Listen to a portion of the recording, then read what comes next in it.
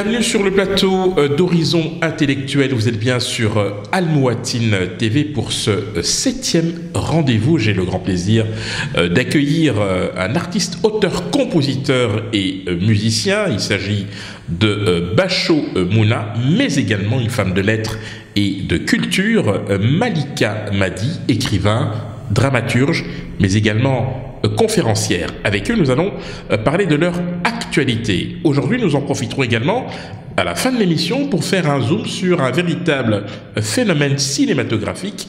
Vous l'aurez compris, il s'agit du film Black Panther. Malika Mali, bonjour. Bonsoir, bonjour. Alors, euh, je l'ai dit en introduction, vous allez présenter euh, très prochainement, ce sera du 21 mars, 21 au 31 mars euh, à l'espace MAG, la pièce dont vous êtes l'auteur. Il s'agit d'un homme libre, en quelques mots, le pitch. Alors en quelques mots, bah, disons que j'avais envie euh, d'écrire un texte ici qui, euh, qui visite un peu euh, des personnages sur le prisme bah, masculin, puisque tout, tout mon travail d'auteur a toujours été de parler de la condition des femmes. Donc, euh, dans mes romans, essentiellement, je parle des femmes. Et dans la pièce que j'avais euh, écrite précédemment, il s'agissait aussi d'une histoire féminine. Ici, c'est l'histoire de trois hommes au sein d'une même famille euh, qui partagent ou, ne partagent pas du tout la même conviction religieuse. Donc, Adam est le personnage principal qui est un homme médecin, athée, et qui se retrouve un peu en conflit avec son père qui est plutôt prosélyte et un fils qui se questionne sur sa religiosité, comme beaucoup de jeunes aujourd'hui de la troisième génération. Donc, c'est vraiment la relation entre ces trois hommes et comment euh, garder des liens euh, de filiation quand on est euh, différent philosophiquement et religieusement. Alors, vous avez écrit euh, pas mal d'ouvrages, mais il y a un fil conducteur dans votre œuvre, c'est que vous êtes, euh, passez-moi l'expression, hein, obsédé par, je dirais, les ressorts des comportements humains. Vous aimez bien vous attacher euh, aux traits de caractère, au tempérament des gens, à la grandeur, à la faiblesse mm-hmm. des personnes que vous décrivez dans vos ouvrages. pourquoi cet attachement à la noirceur de l'âme humaine? Euh, bah, D'abord, je pense que c'est un peu lié même à l'état d'écrivain. Euh, un, écrivain est pour moi, en tous les cas, fondamentalement... Pessimiste Non, pas pessimiste, mais témoin de son temps. Euh, et malheureusement, les temps qui courent et les temps qui sont, euh, dans, dans lesquels on s'inscrit sont des temps qui ne sont pas. Enfin, je pense comme de toute façon à toutes les époques, il y a eu des, choses qui se sont passées de manière dramatique. Mais l'écrivain est quelqu'un qui va, oui, décrire euh, ce qui ne va pas dans son époque, dans sa société. Et mon travail, oui, depuis le début, oui, c'est vrai que je parle beaucoup de ce qui ne marche pas, euh, la violence faite aux femmes, la violence faite euh, aux, jeunes, et puis surtout dans le cadre de cette pièce, c'est vraiment aussi l'idée de la psychogénéalogie, parce que c'est quelque chose qui parle beaucoup. Et c'est-à-dire, qu'est-ce qu'on transmet? Qu'est-ce qu'on reçoit de nos aïeux euh, Comment on vit avec ce bagage Et puis surtout, euh, ce qui n'a pas été réglé par nos ancêtres nous est transmis. Moi, j'en suis convaincue et que euh, on doit gérer cette souffrance, ces douleurs. On a tous des secrets de famille dont on est conscient ou pas conscient, et quand on n'est pas conscient, on le vit quand même. On a quand même ces blessures. Alors précisément, cette gestion des sentiments, des tempéraments que vous brillamment en tout cas réussissez à faire avec votre plume, eh bien euh, Bachomuna lui le fait avec euh, la musique Bachomuna. Vous avez quitté à l'âge de 19 ans votre Cameroun natal, vous évoluez dans un créneau résolument jazzy avec de la soul, de la musique latino, du reggae, c'est dire que votre univers musical est à la fois riche euh, et euh, inspiré. Vous avez même réussi, je dirais, à créer votre propre euh, univers. C'est pour nous donc un plaisir de vous accueillir ici sur Horizon Intellectuel. Alors, vous aussi, vous êtes très attaché, non seulement au texte, puisque vous êtes auteur-compositeur, mais aussi, je dirais, aux sentiments humains que vous essayez de traduire dans vos textes. Oui, euh, je pense qu'on est complémentaires. C'est un artiste, euh, fait aussi, euh, c'est un auteur, donc euh, un écrivain, c'est quasiment la même chose. La différence, c'est que l'écrivain a beaucoup plus d'espace pour exprimer avec sa plume. On est limité avec dans un support dans lequel on a trois minutes, et donc il faut concentrer trois minutes ou cinq minutes au maximum ce qu'on a envie de dire et mettre ça en plus avec un complémentaire de musique. Donc ça fait beaucoup de choses dans un petit support effectivement, je pense que le plus important, c'est d'essayer de décrire un petit peu ce qu'on vit, euh, ce qu'on observe. euh, ce qu'on ressent, analyser un petit peu aussi où va le monde dans lequel on est. En fait, c'est ça. En fait, on, fait un peu le travail de, philosophe, un petit peu d'observateur, euh, et on analyse des situations, et c'est ça qui nous permet d'écrire de, notre vécu, de notre environnement, en fait, je, pense que j'ai déjà tout résumé comme ça. Est-ce que dans, dans, dans ce que vous avez réussi tous les deux à, mettre sur pied, est-ce qu'il n'y a pas finalement une part de, de, biographie finalement dans ce que vous euh, abordez, à la fois dans vos textes, mais également dans, dans le cheminement personnel qui est le vôtre? Alors, si je, oui, euh, bien sûr, il y a toujours, et je pense que dans, dans, dans chaque œuvre artistique, il y a une part de l'auteur, euh, ou du musicien, ou du comédien, ou du peintre. C'est inévitable. Je veux dire, on ne peut pas euh, créer quelque chose qui nous est complètement euh, euh, distancié, ouais, exactement, ou, ou, inconnu. On part de son histoire. Je vous le disais tout à l'heure, pourquoi la psychophénologie Parce qu'on on ne vient pas au monde le jour de notre naissance. Je crois qu'il y a toute une histoire qui nous précède et qui fait partie de notre, de notre, notre ADN.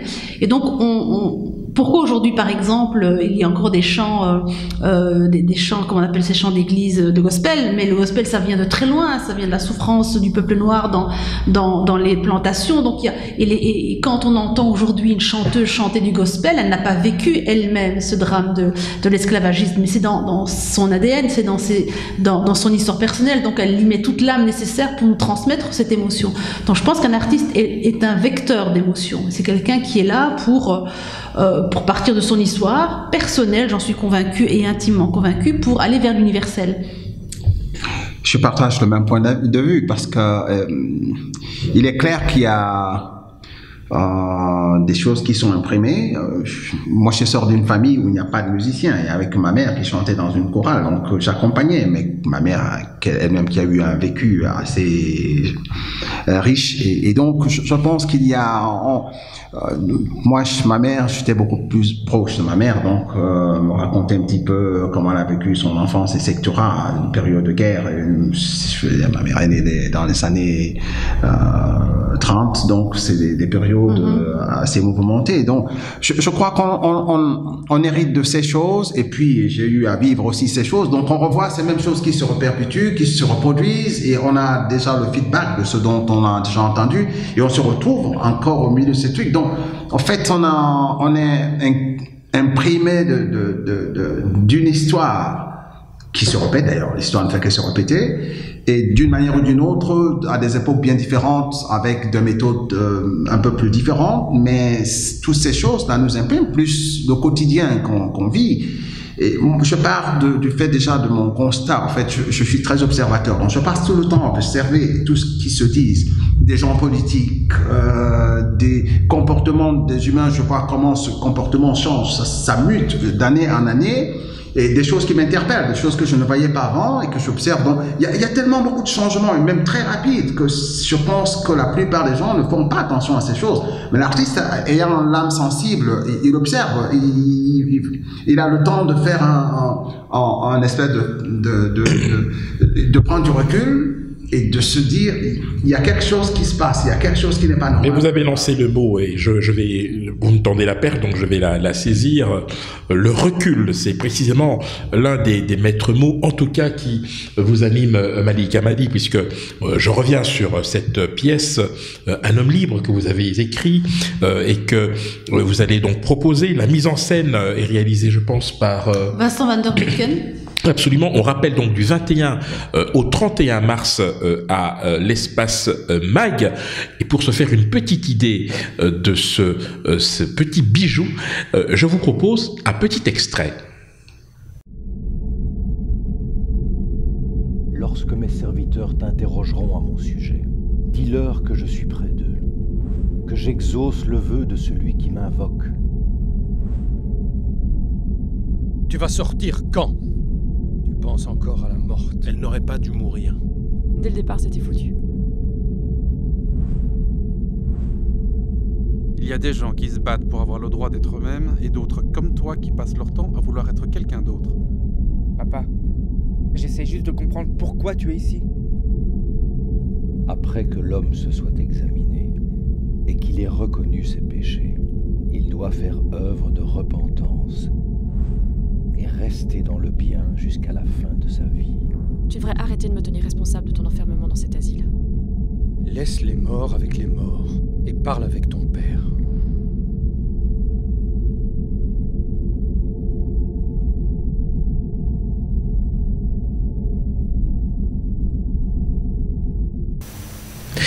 Voilà, Malika m'a dit, le moins que l'on puisse dire, c'est que, une fois de plus, ce sont les ressorts de l'âme humaine qui transparaissent euh, dans cette pièce. Euh, Nous vous invitons naturellement à y aller. Mais si je devais rebondir à nouveau sur euh, le contenu, est-ce que vous diriez finalement que cette expérience entre ces hommes est aussi aujourd'hui, d'une certaine manière, le reflet des rapports humains dans une société en pleine mutation mais également sujette à des tensions internes entre les individus, entre les hommes, les femmes, les pères, les fils, les mères, les filles. Oui, parce qu'en fait, la société euh, dans laquelle nous, vivons aujourd'hui est une société qui est en, vraie mutation. Je veux dire que moi, je suis issue de l'immigration, donc de la deuxième génération. Euh, nos parents sont arrivés euh, dans les années 60, mais eux-mêmes venaient de campagne et venaient de sociétés extrêmement structurées, où chacun avait un rôle bien clair à, tenir pour qu'un village, d'ailleurs comme en Afrique subsaharienne autant qu'en qu Afrique du Nord, pour qu'une société fonctionne dans, dans, les, dans les villages, dans les endroits reculés, il faut que l'homme et la femme aient chacun un rôle bien précis à jouer et à tenir. Et ça, ça a toujours fonctionné depuis des millénaires, je dirais. Presque. Ce sont des rapports quasiment, je dirais, codifiés, euh, codifiés qui, euh, d'une certaine manière, peuvent aussi, et c'est peut-être oui. aussi ça le débat aujourd'hui, est-ce que euh, qu'ils ne relèguent pas au fond la femme d'une certaine manière dans un rôle pas très valorisant C'est-à-dire qu'aujourd'hui, la femme euh, voit une multitude de, facettes dans son, cheminement. C'est-à-dire qu'aujourd'hui, une femme doit continuer à, régir et en tout cas à gérer une vie de famille, mais elle doit aussi euh, avoir une vie professionnelle, une vie euh, citoyenne. Et donc, en effet, nous sommes dans une société où les carcans sont un peu brisés, où tout le monde perd un peu ses repères. Et finalement, tout est en, tout est en balotage et tout est en déséquilibre aussi bien finalement les parents, les enfants, que euh, cette génération intermédiaire dans laquelle je m'inscris, parce que tout est à reconstruire et tout est à réinventer. Et c'est un peu ce qui se passe dans cette famille, où on a parfois des, des petits-enfants, dans le cadre d'un homme libre, c'est tout à fait l'histoire, c'est ce jeune garçon qui a 23 ans et qui dit à son père, moi, ce qui m'intéresse, c'est pas toi, c'est ce qu'il y avait avant toi. Et ça, ça résume vraiment bien toute une génération aujourd'hui qui a besoin de comprendre d'où il vient. Donc, ce besoin de reconstituer au fond une, une identité qui oui. a tendance aujourd'hui à, euh, comme ça, disparaître d'une certaine manière, faute de pouvoir euh, oui, être de... transmise, je oui, dirais. Enfin, dis... oui, disparaître. En tout cas, je pense qu'ils sont, en tout cas, nous, en tant que parents, on, on a l'impression qu'on leur a légué des choses et qu'on leur a donné des clés de compréhension. Mais je pense qu'ils n'ont pas euh, reçu les serrures qui étaient adaptées à nos clés, à nos propres clés. Donc il faut réadapter ce, euh, il faut réadapter nos relations et, et ce cheminement-là. Donc c'est évident qu'aujourd'hui, par exemple, si on veut parler de manière très très claire, on a toute une génération qui se questionne, oui, sur, sur son appartenance religieuse, par mmh. exemple, ou cette envie de revenir vers la religion, vers le confort de, euh, et les contours d'une religion, parce que ça leur apporte une certaine sécurité, alors que toute une génération qui était la mienne a voulu pendant très longtemps se construire en dehors de ça. Alors un autre mot-clé que vous avez euh, utilisé et que je saisis au bon une fois de plus, c'est se réinventer finalement. Alors euh, Bachomona, le moins que l'on puisse dire, c'est qu'avec vos influences musicales multiples, je rappelle que euh, vous avez réussi cette performance de vous produire euh, en 2013 au Festival de Jazz de Montréal en première partie de Chucho Valdés, mais ça ne vous a pas empêché d'interpréter, de réinterpréter, d'adapter à votre sauce évidemment euh, des standards en allant du jazz au blues à la soul en passant par le makossa. Ça tombe bien. On va regarder un extrait de Samba Makossa qui est extrait de votre album Jazz and Dreams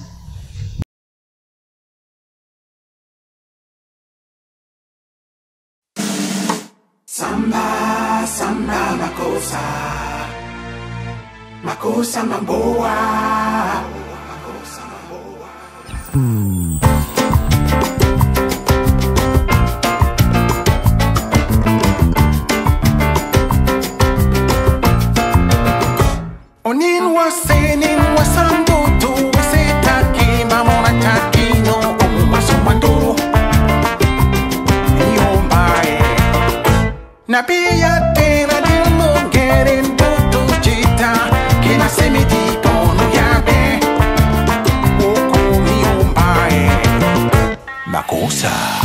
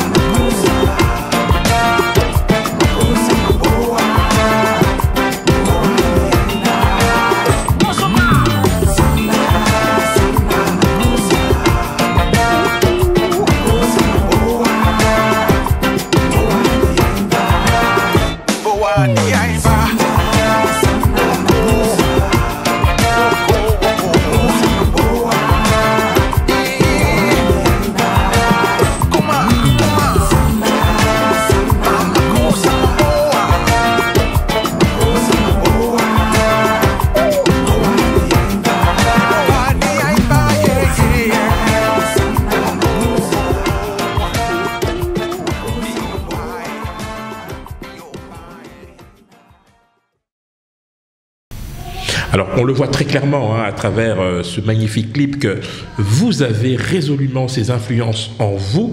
Alors, le travail que vous euh, faites pour pouvoir, au fond, d'une certaine manière, vous réapproprier euh, ces rythmes, ces, ces influences, c'est aussi la conséquence d'un parcours très singulier. Vous êtes quand même, vous le reconnaissez vous-même, un pianiste autodidacte. Oui. En fait, oui. C'est un très très long chemin, c'est un très long parcours euh, et, et le fait de, je pense effectivement, de s'être formé tout seul a aidé à beaucoup de choses. D'ailleurs, l'histoire, euh, quand je, suis allé au conservatoire en Côte d'Ivoire à l'époque, j'avais eu un professeur en troisième année qui m'avait dit euh, qu'est-ce que tu, qu'est-ce que tu fais ici? Je racontais un peu mon histoire. Il m'avait dit ne reste pas ici parce qu'on va on va te formater. Il faut aller travailler comme tu travailles. Et finalement, je trouve que c'était un homme extraordinaire, un homme plein de sagesse. Ça m'a permis effectivement d'avoir cette indépendance, de, de penser cette manière de concevoir les choses. Et, et rappelle encore un journaliste euh, que j'ai croisé dernièrement. euh, On s'est retrouvé sur euh, Facebook, qui avait fait une interview il y a presque une vingtaine d'années. Il s'appelle Osman Kaba. Et, Absolument. et il avait utilisé un mot à l'époque, et chaque fois que je regarde cette interview, il m'avait décrit comme un éclectique. Effectivement, c'est ce qui me représente. C'est-à-dire, j'ai cette capacité d'être dans un milieu et de prendre exactement les choses. On ne peut pas vous enfermer dans Non. un genre, on ne peut pas vous mettre dans une case. Non, euh, non, non. Et c'est surtout ce que, ce que je disais à l'époque, il y a 20 ans, je le disais, c'est justement ce que je ne veux pas. Je ne veux pas des maisons de disques parce qu'on va me mettre dans un truc et puis on va me dire fais ceci et ça c'est pas du tout compatible avec ma personne. C'est totalement opposé à moi. Donc ils vont tuer l'âme de ce que je suis et je lui ai dit ça je ne veux pas. Et c'est la pire chose qui puisse arriver à un artiste Ah, d'être enfermé dans un genre, dans Ah, un ouais, ça, rôle. pense, surtout quand tu as une, cette capacité de, de cette euh, euh, fluidité de créativité et de cette diversité. Donc finalement, on te tue. En fait, on te met dans un truc et puis on, on, on te donne une image qui n'est pas la tienne. Et ça, à l'époque, je me dis, ça, c'est surtout une chose que je ne veux pas. Il y a quand même une réalité dans l'industrie euh, discographique, euh, musicale, c'est que les, im- des impératifs, je dirais, euh, euh, commerciaux font que vous soyez amené parfois, effectivement, à vous aligner sur une tendance, sur un genre, sur un style en particulier. Oui, mais je dis que ça, c'est exactement ce que les maisons de disques veulent véhiculer. Donc, quand on te prend et que tu acceptes ce jeu, ben, effectivement, on te, on te fait devenir ce qu'ils veulent que tu deviennes. Et quand ce, genre, ce- cette tendance est finie, on ne fait plus rien d'autre avec toi, on te jette. C'est ce qui se passe. Or, euh, c'est quelque chose auquel euh, j'ai toujours dit non. Mais comment on fait pour rebondir dans ces cas-là? Parce que si on vous jette, on vous jette. euh, Ah, ah oui, non, mais quand vous êtes dans un créneau, quand on vous jette, vous, vous, vous êtes, vous êtes totalement sorti de ce créneau. Donc, c'est très difficile de- de- d'être là-dedans. Et moi, je me suis toujours dit, je veux y aller pas à pas, doucement, parce que je veux bien apprendre et comprendre le métier jusqu'au fond. Et donc, tout le temps que j'ai passé à aller à petits pas, ça m'a permis effectivement de comprendre le métier de la production, de la réalisation. Euh, Je fais moi-même le son, je fais mes trucs, donc je- du métier de A à Z. Donc, euh, et ça, je pense que c'est la, chose la plus que valorisante pour un artiste. Bien sûr que ce n'est pas donné à tout le monde, parce qu'il y en a qui, veulent euh, euh, raccourcir le, le chemin, mais c'est pas fait pour des gens qui veulent raccourcir le chemin. Et moi, je n'aime pas les raccourcis. Euh, je suis toujours quelqu'un qui aime se battre, qui aime comprendre les choses, bien saisir le fond des choses avant de savoir où je mets mon pied et pourquoi est-ce que je dois faire des choses. Effectivement, ça prend du temps, ça c'est euh, côté fait que vous devez ramer, vous, vous n'allez peut-être pas entrer dans les grosses maisons de disques, mais aussi, je dis, je ne cours pas derrière cette envie d'entrer dans les grosses maisons de disques parce que je sais exactement ce qui se passe dedans et on connaît aussi toutes les pièces qui, qui, sont mises dans ces maisons de disques. Donc, euh, moi personnellement, j'ai toujours mené ma carrière en travaillant progressivement stade par euh, étape, en en regardant ce qui peut être fait, en travaillant en fonction de mon feeling et me laisser C'est cela. laisser mon corps s'exprimer. Et donc, j'ai Mhm. cette euh, satisfaction d'écouter le travail que je fais. Parce et les gens qui l'écoutent aussi se rendent compte qu'il y a du travail. Ce n'est pas de la soupe, comme on dit. Alors précisément, euh, Malika Madi, est-ce que l'exemple de Bachomouna est transposable dans le monde de l'édition? Je rappelle que euh, vous êtes l'auteur de Nuit d'encre pour Farah, pour euh, Farah, c'est bien ça? Oui, oui. Euh, Je ne suis pas raciste, Shamsa, fille du soleil et encore euh, Les silences de Médéa, et j'en passe, hein, ça fait partie donc de, de votre œuvre. Euh, autant d'ouvrages que vous avez écrits, vous ne les avez pas écrits sous la contrainte. Non, non, évidemment, mais euh, je pense qu'il y a probablement des similitudes avec euh, le monde de la musique, même si, euh, bon, il y a, il y a aussi des, des divergences. C'est-à-dire qu'en fait, je pense qu'aujourd'hui, la différence, bon, il y a 30 ou 40 ans de cela, un éditeur misait sur un auteur. C'est-à-dire qu'en lisant un manuscrit, il pouvait très bien dire, oui, moi j'estime que cet auteur n'a pas écrit un chef-d'œuvre, mais il y a du potentiel, etc. Et je mise sur cet auteur, dans 3-4 bouquins, il sera... il sera top. Euh, Aujourd'hui, c'est terminé. Je veux dire qu'un manuscrit doit euh, doit faire mouche tout de suite et on ne on, ne peut plus. euh, et, ce qu'il y a aussi, c'est que j'ai rencontré des éditeurs qui me disent bon, avant l'éditeur publiait un, un- coup de cœur. Il lisait un manuscrit, ça lui plaisait, il publiait. Aujourd'hui, un éditeur ne publiera plus un livre qui lui est coup de cœur, mais il publiera un livre qui va faire vendre, qui va vendre et qui va lui ramener de l'argent. Donc ça a un peu changé. C'est vrai qu'aujourd'hui le, le monde de l'édition a énormément changé. Après il y a plusieurs contrats. hein. Vous avez des auteurs qui sont oui obligés de produire parce que leur contrat le stipule, mais on leur donne évidemment l'argent qui va avec. Et puis il y en a d'autres qui ne veulent pas, qui veulent cette liberté de, de prendre 5 ou 6 ans ou 10 ans pour écrire. Mais à propos de liberté, euh, on peut quand même aussi noter que l'arrivée des, des réseaux sociaux ont aussi modifié profondément, je dirais, euh, la perception que l'on peut avoir euh, d'une œuvre ou en tout cas d'un essai. Je prends un exemple très très simple. Euh, dans votre cas par exemple, il y a une dizaine ou une quinzaine d'années, euh, on devait présenter un manuscrit chez un éditeur. Aujourd'hui, euh, vous pouvez partager votre manuscrit avec des gens qui vous suivent virtuellement. hein, Oui. 500, 600, 700 personnes qui vous suivent sur un blog Oui. et qui, après, peut-être, font votre succès. Oui, c'est vrai qu'il y a de plus en plus de, de, de manières maintenant de, de pouvoir proposer ses œuvres. Ensuite, je pense que la manière classique, c'est-à-dire de trouver un éditeur qui vous diffusera et qui proposera vos, vos livres aux libraires, c'est quand même peut-être la, la solution qui reste la plus euh, euh, universelle parce que tout le monde n'a pas ne, ne sur les blogs, tout le monde ne lit pas, n'aime pas lire sur écran. Je crois que les gens aiment encore avoir l'objet livre et, et pouvoir euh, manipuler les pages. Moi, j'adore, par exemple, dans un livre, j'adore écrire dans un livre. Pour moi, souligner, ra- voilà, mettre des astérisques, j'adore ça. Je veux dire, pour moi, un livre doit être vivant. Et donc, euh, je, je- Donc, il y a encore des CD que l'on Ah, achète. ah ouais, mais ils vont et jamais le finir. vinyle, hein. qui, le vinyle Euh, qui le vinyle revient. qui revient. apparemment. Effectivement, parce que, effectivement, comme elle le dit, ce sont des objets d'art. Il y a- il y a donc euh, un besoin, je dirais, presque charnel Ah de oui, pouvoir s'approprier c'est un objet d'art. cette Parce que œuvre. quand vous aviez un vinyle, vous le tenez à main, vous voyez, vous, faites quelque chose. Ce n'est pas quelque chose de virtuel ou un bouton, vous appuyez. Il, il manque quelque chose. Il y a- et on a besoin de ce contact. c'est un de nos cinq sens. C'est ça, c'est ça, ça fait partie de ce contact. D'abord euh, au niveau des doigts, et puis après, on, on a besoin de, de sentir, de de- d'avoir cette matière, et puis de l'amener. On fait quelque chose, il se passe quelque chose. On a besoin de ça, et c'est ce qui fait que les gens euh, reviennent euh, sur euh, les vinyles, euh, les CD. On disait ils sont, ils seront morts. Non, les CD les CD ne vont pas mourir. Les gens vont continuer à écouter les, euh, les CD, et, je pense que c'est quelque chose qu'on ne peut pas dissocier de, la musique. Ça fait partie de l'en- de- de- oh, il, y a, des choses moder- modernes. C'est bien. Les jeunes y vont, après ils reviennent. Je veux dire que ils reviennent tous. On est tous allés, on a fait certains trucs. Après on revient à la source parce que finalement, à un certain âge, on s'assagit et on revient sur les choses fondamentales. Donc, Alors précisément, est-ce que euh, musicalement parlant, il y a, je dirais, euh, euh, une humeur du moment euh, qui peut influer sur votre processus créatif, Ah par oui, exemple? Bien sûr, bien sûr que oui. Euh, ça c'est très très très important et c'est d'ailleurs euh, toujours d'actualité. Euh, au moment où on est triste, on s'écrit, on va sentir qu'un artiste est triste quand il écrit ou ses textes ou quand il écrit un livre. Il y a ça se sent, on, le- transmet. Il y a par exemple des, morceaux quand je le joue, je les chante en voilà des gens qui ne comprennent pas la langue, je vous dis, les Européens, quand ils écoutent, ils disent, il y a de l'émotion. Oui, effectivement, il y a de l'émotion, mais c'est parce que, effectivement, ce texte, il a été écrit à un moment où il y avait un moment de tristesse, il y avait un problème, il y avait quelque chose qui te, qui te dérange. Donc, tu écris le texte et montres quand tu l'écris, tu le chantes, on sent ces émotions. Et d'ailleurs, on, on voit, il y a beaucoup de gens aujourd'hui, et même à mon époque, à l'époque, on ne parlait pas l'anglais, mais on voulait écouter les chansons en anglais, tu comprenais absolument rien parce qu'il y avait d'émotions là-dedans. Donc, je, je crois que ça reste toujours d'actualité. Alors, Malika m'a dit, est-ce que c'est plus facile d'écrire sur les femmes que sur les hommes ou inversement? Vous avez, vous réussi, en tout cas ce pari d'écrire à la fois sur les femmes et sur les hommes, avec le recul?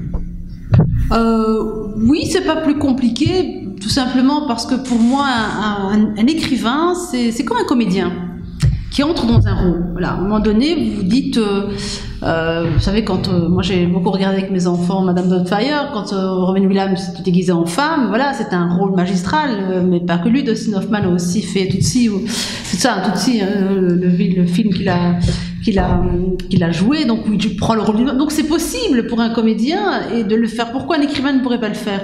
Donc moi j'ai- j'aime beaucoup, j'ai beaucoup aimé l'idée de d'être dans la psychologie d'un homme et m'imaginer. Bon, d'abord parce que j'ai des fils aussi, hein, j'ai trois enfants dont deux garçons. Euh, voilà, j'ai des frères, euh, j'ai mon père. Donc c'est vrai que je connais quand même un peu aussi la psychologie masculine. Et donc ça a été un vrai plaisir pour moi de travailler le prisme de l'homme. C'était euh, un grand défi. Oui. Alors, on va évoquer vos euh, actus respectives avant de passer euh, au Zoom dont je vous ai parlé euh, en début d'émission. Euh, je rappelle, euh, Bachomouna, que vous allez euh, vous produire euh, jeudi prochain. Nous serons le 15 mars à 20h30 au euh, Music Village. Un retour aux sources pour vous à Bruxelles? Oui. Euh, il y a eu beaucoup de, je dirais pas de plaintes, oui, peut-être des gens, des amis qui m'ont dit, mais écoute, tu, on te voit plus ici, on voit juste que tu, tu, tu es ici à gauche, à droite, ailleurs, mais tu fais plus rien en, en, en Belgique. Et effectivement, donc j'ai eu l'occasion qu'il y a un jour, je suis à la maison, il y a un frangin qui m'appelle, me dit, mais bon, je sais que peut-être que ça va pas t'intéresser, mais il y a une possibilité, si tu veux bien venir, je musique Village, quand te, te programme, je dis oui, ça peut être amusant. Donc, euh, et on a Ce sera en solo ou bien avec non, un, je un suis avec un band, hein, je suis en assis sur scène. Ah, ok, d'accord. ouais, ouais, un Et ce sera une, une interprétation des standards ou bien il y aura une possibilité c'est- de... C'est uniquement comme euh, mes, mes œuvres. Donc on, part euh, de la soul, euh, de la faux funk, euh, la, en- de, du latin au blues. Il y aura des extraits de Jazz and Dreams, de, de Back to the Back to Roots. the Roots. Et, et puis le dernier album euh, euh, Afro Pop. Donc il y a, y, a, y, a, y a de quoi se réjouir. Là, là, on, on a terminé la répétition encore cet après-midi. Ça va être quelque chose qui va cracher du feu. ça, c'est- clair. Malika, alors euh, le 21 mars et cependant euh, 10 jours, ce sera donc euh, à l'espace MAG, un homme libre. Là aussi, une attente très forte. Oui, euh, je trouve que le travail que, fait pour l'instant euh, l'équipe est génial. Donc, j'ai assisté au village hier. Je suis vraiment très impressionnée par le travail que mènent Vincent Van der Becken et les comédiens qui, euh, qui sont cinq. Et donc voilà, je suis impatiente de voir le résultat final, mais je voudrais aussi rappeler qu'il y a deux scolaires, le 23 et le 29 mars. Euh, donc le 23, il- c'est plus ou moins complet, mais il reste des le 29. Pour les associations aussi, donc on a à 10h du matin de, matinée. Euh, et puis voilà, et puis après, normalement on part à Paris, et puis euh, il y a une lecture du texte à Avignon fin du mois de mai. Donc, D'accord, un emploi euh, chargé. Je rappelle néanmoins que le 22 mars, Oui. vous participez euh, à une table ronde dans le cadre de la commémoration des euh, attentats du 22 mars euh, 2016, des attentats de Bruxelles, souvenez-vous, à l'aéroport et à la station Malbeek. Oui, tout à fait. Donc là, c'est vraiment une manière pour nous de, de parler, de, de- enfin, en tout cas, de nous remémorer cet événement et de, en tout cas, d'a- d'avoir une pensée pour les victimes. Donc, on va euh, re- re- revisiter un peu, repenser un peu cette journée en essayant de, ben voilà, de donner la parole aussi au public et d'échanger avec eux et de voir un peu comment on peut inscrire notre modernité aujourd'hui avec ce, ce passé un peu douloureux. Place au euh, Zoom dont je vous ai parlé en début d'émission. Il y a de cela quelques semaines, Black Panther est sorti aux États-Unis et depuis lors, c'est près d'un milliard de dollars qui ont été euh, récoltés de par le monde. C'est un véritable phénomène. Ce film Studio Marvel, qui vient des studios Marvel, euh, est euh, interprété en tout cas en Afrique comme le signe d'une renaissance. Faut-il s'en inquiéter? Est-ce qu'il y a des raisons de pouvoir espérer? Pourquoi ce transfert? Pourquoi cet optimisme soudain? Est-ce que ce film redonne fierté aux Africains? À qui profite le succès? Nous allons en parler avec euh, nos invités. Alors, j'imagine que vous aussi, vous êtes euh, sous le charme, Bachomouna. Ben, je ne dirais pas sous le charme. Euh, je vais peut-être décevoir beaucoup de personnes. Non, je l'ai vu. Je trouve que c'est un film qui a été très bien fait, comme ils font tous les films aux États-Unis. Je me suis effectivement posé la question à qui profite le crime? Je pense tout simplement que c'est exactement le même processus que j'observe depuis des années au niveau de toutes les cultures euh, africaines qui sont pillées. Ça, c'est mon point de vue. Donc, on, on vient, on prend les cultures africaines, on va les monnayer de l'autre côté, on en fait de l'argent, et cet argent ne vient pas d'Afrique. Bien sûr, la seule chose que je peux juger positive, c'est qu'on a pris des Africains pour jouer ce film. Mais le reste. Des Afro-Américains. Des Afro-Américains. Voilà. Donc ça, il faut le dire. Euh, C'est donc c'est toujours des Américains. Je veux dire, pour moi, Afro-Américains, ils sont Américains. Donc on a pris les Afro-Américains pour tourner ce film. Mais je pense, pour ceux qui pensent que ça leur donne une fierté, c'est une bonne chose. C'est- une très bonne chose. Mais j'ai constaté ça dans la musique, c'est-à-dire que qu'est-ce qu'ils faisaient? Ils allaient en Afrique, ils prenaient, ils allaient étudier toutes les cultures, les musiques, on- ils allaient, ils faisaient des samplings et tout ça, et on revendait ces samplings. Donc ce sont les industries de, de musique qui s'occupaient de ces trucs. On venait prendre nos cultures, on les modernise, on fait des samplings avec ça et puis on nous les revend. Donc, c'est la même chose pour moi qui se retransfère au niveau du cinéma. Euh, ils sont allés chercher, euh, étudier un petit peu comment ça se passe au niveau des chefs tout le reste. On a pris, on a mis ça en film, ça fait un gros truc. Et j'ai vu, euh, suivi un peu sur euh, France 24 euh, en, au Nigeria, il y en a qui étaient très fiers, disant oui, mais non, ça on est un peu représenté. Je pense que si c'était l'Afrique qui avait produit ce film, produit par les Africains à cette dimension, j'aurais dit, alors j'aurais dit, oui, alors il se passe quelque chose de positif. Ici, pour moi, c'est des, c'est des maisons, des grosses maisons de, de- production, donc c'est tout simplement cette machine qui pille, qui continue à piller, donc on va piller nos cultures et puis on vient de leur vendre en nous donnant l'impression que voilà, ça vous donne quelque chose, ça nous apporte. Moi personnellement, ça n'apporte rien. Alors Malika m'a dit euh, le fait qu'il y ait des, des références culturelles euh, qui euh, rappellent évidemment euh, euh, les différents aspects de la vie en Afrique ou que l'on ait une société au fond hyper idéalisée, presque je dirais utopique, une Afrique très moderne avec des technologies très avancées, c'est quand même un motif de satisfaction, de fierté pour des Africains qui sont tout de même aujourd'hui en quête de renouveau.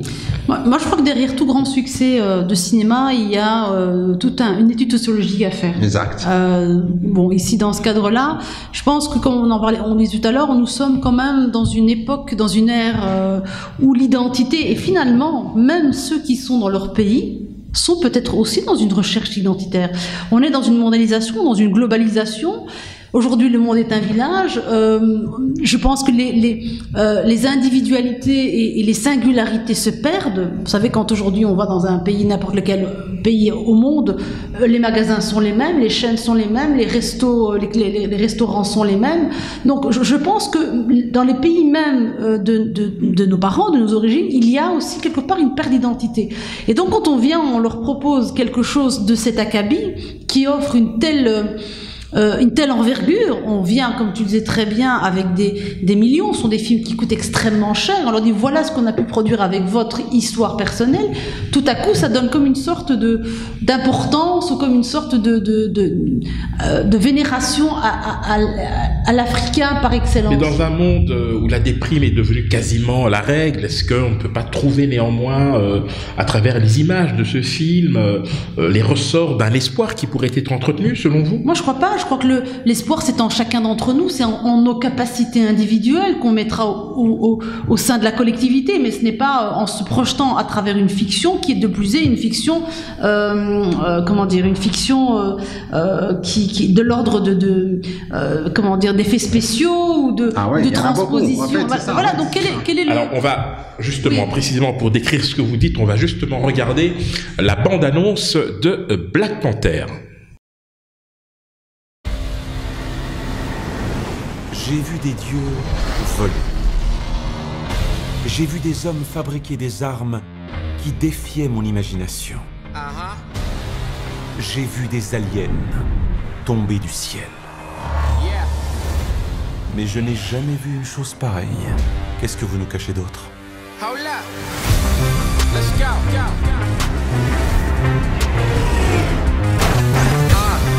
Enfin chez nous.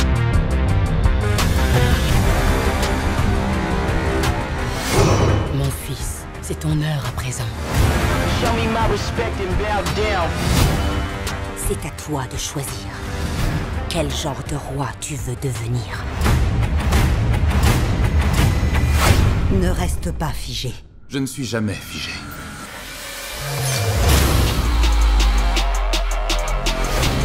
The revolution will not be televised. Show me my respect and bow down. We own ya. We own ya. We only getting started now. Cause we own ya. Everybody think they know me now. Cause we own ya. You and I'm a homie, yeah. Cause we own ya. J'ai attendu ce jour toute ma vie. Le monde va pouvoir renaître quand je l'aurai réduit en cendres. Ce qui nous arrive maintenant détermine ce qui arrivera au reste du monde.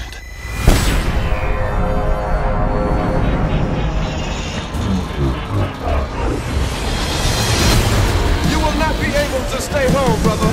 You will not be able to plug in, turn on. Pour le Wakanda éternel The revolution will not be televised. Amusons-nous un peu.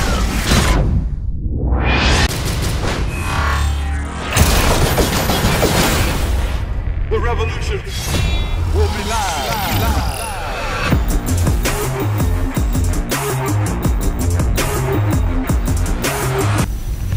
parliez d'effets spéciaux, oui, le moins que l'on puisse dire, c'est qu'on est effectivement euh, servi. Néanmoins, euh, même si la trame peut paraître simpliste, hein, je parle de la trame euh, narrative, il y a quand même pas mal de messages qui sont, qui sont véhiculés.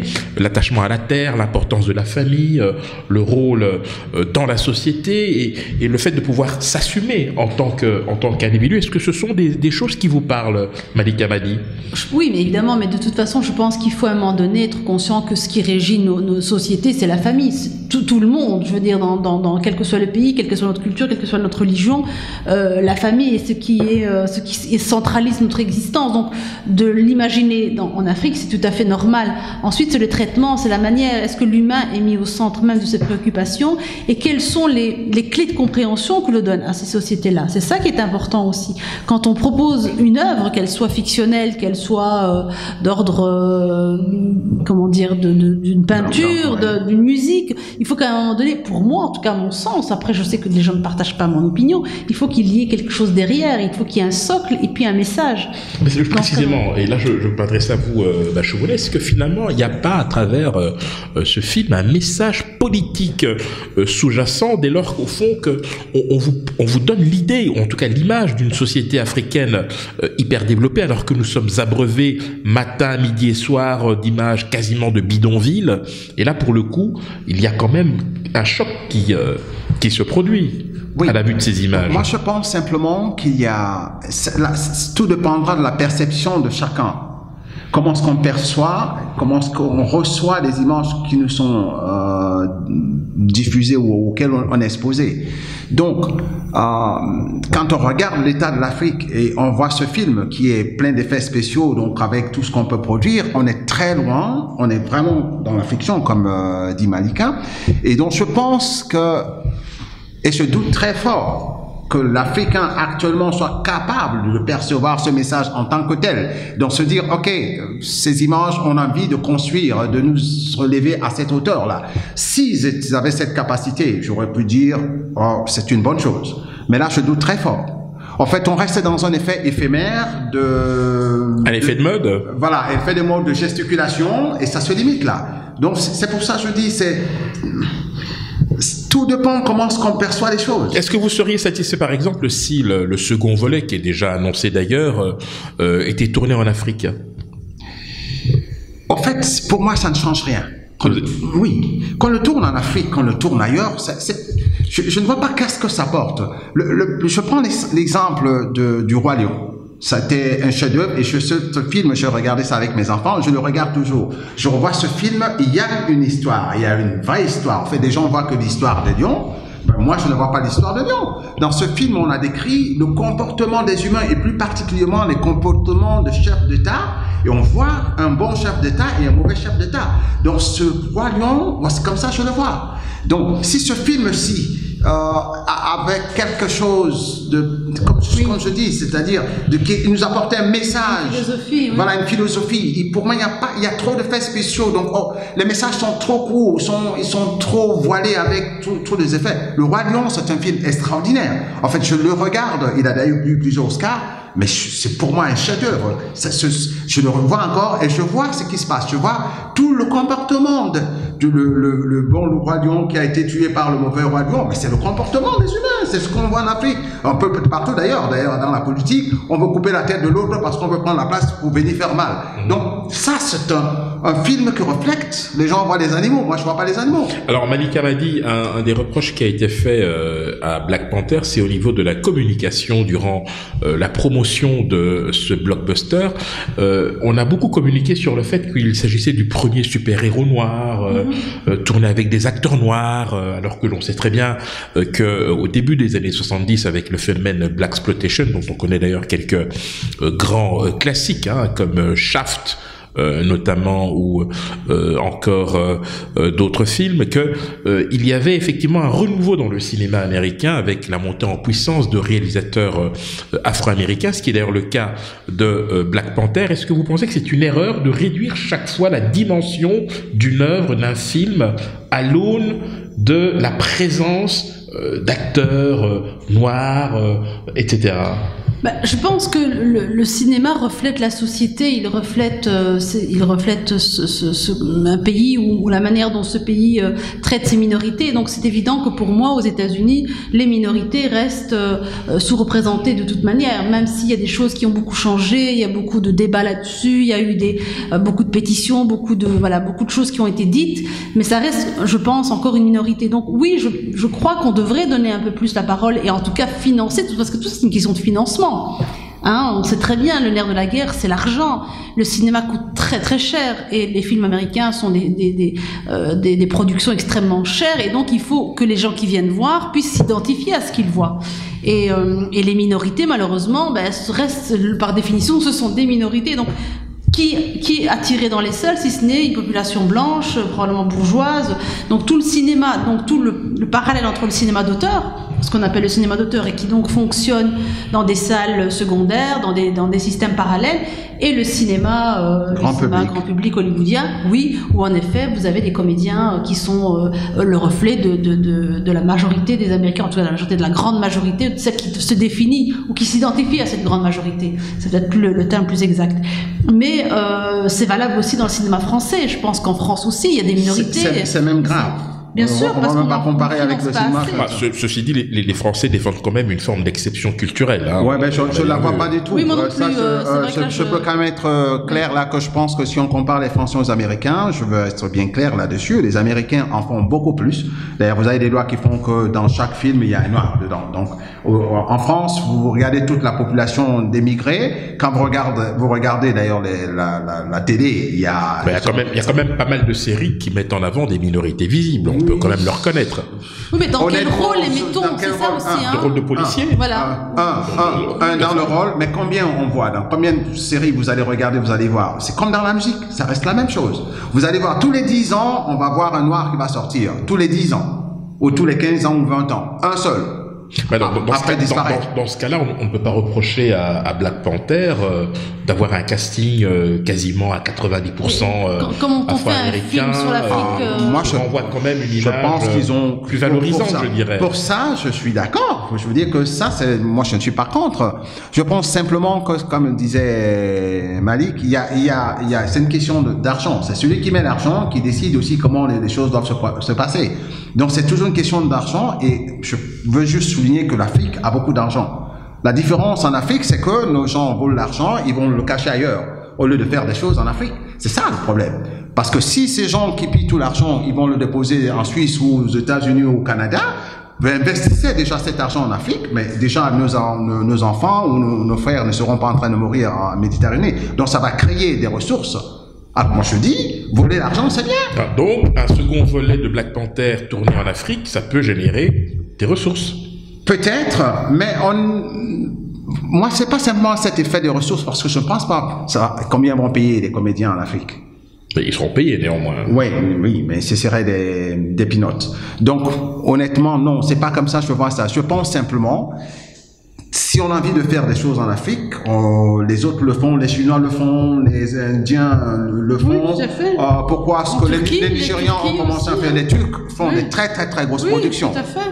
Pourquoi est-ce que les Africains ne peuvent pas Nollywood au Nigeria existe. Oui, c'est une industrie qui marche plutôt C'est bien. déjà, c'est déjà une très bonne chose. Mais je pense que le Nigeria, ça ne doit pas simplement se limiter au Nigeria. On doit étendre ça en Afrique. L'Afrique, c'est, plus que le Nigeria. Malika, dans, dans le Maghreb, par exemple, vous qui êtes originaire d'Algérie, par exemple, est-ce que là, il y a des choses qui, qui se font, euh, qui, qui bougent? Euh, Si on prend en tout cas le pays qui est le mien, qui est l'Algérie, je pense que malheureusement les financements, encore une fois, c'est toujours le problème. C'est un a pays pas- riche, hein, l'Algérie. Oui, ça évidemment.